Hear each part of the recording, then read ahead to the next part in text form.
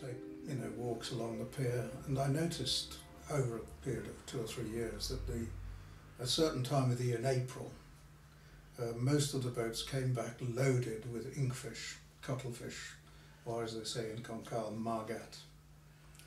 And I, re- I realised that, of course, that was the basis for sepia ink. That's what sepia ink is made from.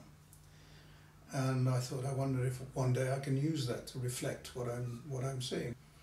I thought about it and thought about it. Then I decided I'd like to reflect the landing of a catch on the pier in Concal of inkfish. So I chose the date and the right tide, and I nailed to the wooden pier eight very large canvases and allowed the fishermen to walk over them, the tractors to drive over them, the ink to splash on it from the from the boxes. In part of the performance, the beginning of the performance, I was I was lowered onto one of the boats and came up in the cradle that normally carry the inkfish.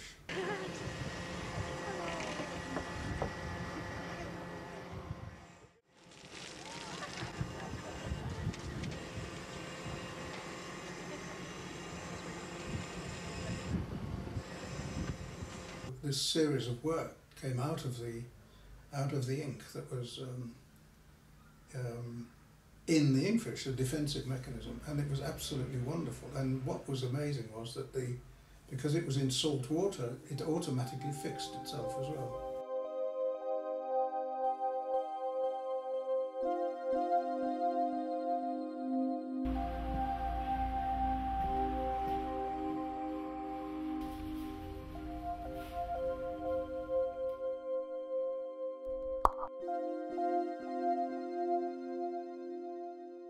By chance I had a show in San Francisco and I went into this Japanese shop because I'm interested in Japanese art.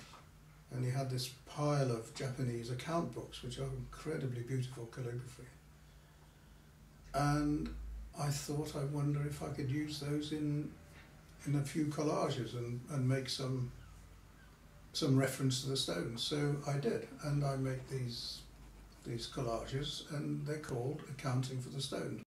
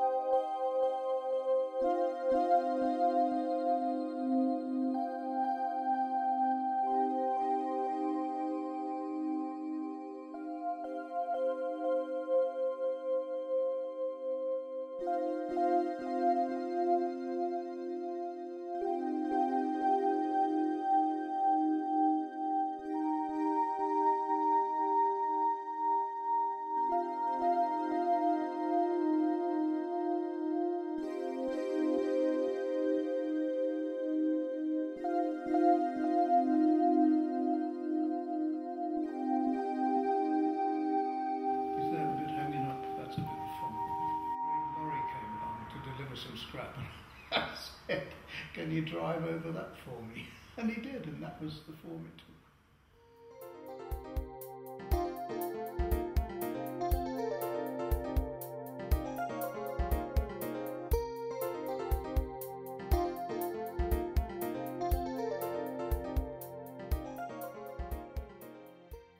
When I moved to Ireland, I moved into a house, uh, and in the proximity was a stone circle. So I decided to make a series of works about stone circles. And then I thought I'd quite like to get into that Irish mythology, having just written, read James Stephens' Irish fairy tales. So I recreated the Dunbeacon stone circle in transparent netting rubbings and paintings, and that became important for my work.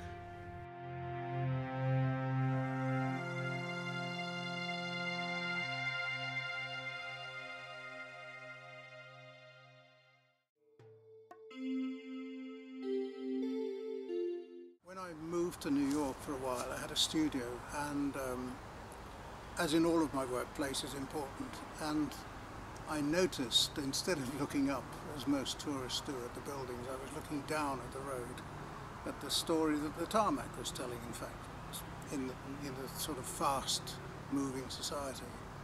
And I noticed that in the tarmac, there were articles that had obviously been discarded or dropped and they'd been pounded into the tarmac by the traffic.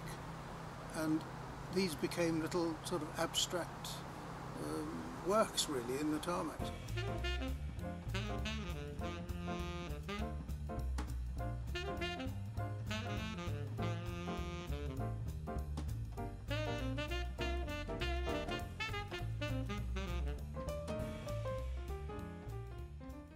My work is always involved in place. I always reflect where I am, where I'm living or where I'm working. It's, it's about place. I started seeing these wonderful shaped stones.